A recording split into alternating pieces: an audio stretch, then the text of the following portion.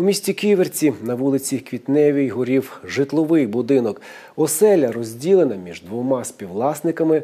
З вогнем боролись рятувальники та пожежники-добровольці. На місце події спрямували рятувальників з міст Ківерці і Луцька, а також пожежників-добровольців з села Озеро. Перший з екіпажів прибув уже за 4 хвилини. З'ясувалося, що полум'я поширилося на дах і перекриття перекинулося на стіни. Горіння ліквідували о 19.52. Потерпілих немає.